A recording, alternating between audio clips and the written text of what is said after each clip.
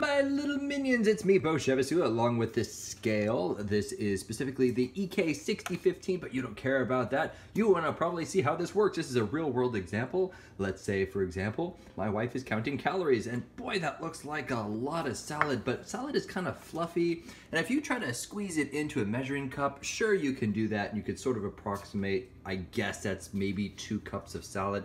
I don't know, but if you really want to be very, very precise with your calorie counting, get something like this. And uh, by the way, it does come with two AAA batteries pre-installed in there. All you have to do is take out the little tape and then the, they are then activated. So we're gonna go ahead and turn this guy on. As a matter of fact, we're gonna have fun with this because we don't actually want to measure the heavy bowl. So we're gonna get an empty bowl, place it on there, and then we are going to turn this on, wait for it to zero out, and now it is zero. So if we take this off, it should be negative certain amount of ounces. Yeah, it's negative 13.72 ounces. So that's how much the actual bowl weighs. So now we're gonna take the empty bowl off and we're gonna take the exact same kind of bowl, place it on there full of salad. And that, as you can see, tells us that it is 4.93 ounces.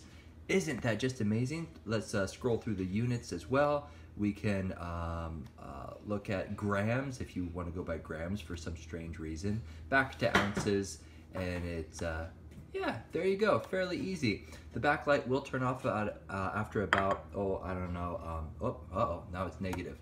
Oh boy, that's very, very precise. Uh, oh, of course it's negative. There's nothing on there. There we go. Now it's zero. Anyway, the backlight will turn off after 20 seconds, and the entire thing will turn off after two minutes.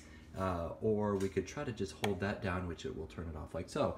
Very nice, easy to wipe off, so it doesn't look too bad when it's on your cluttered counter. Um, fairly nice aesthetics. Well done Etekcity, well done. Uh, oh, by the way, there's little rubber pads on there, so it doesn't really slide around very much on your counter. That's it. Hopefully this, this is helpful to determine whether or not this scale is right for you. My name is Beau Chevassus, and I will catch you later.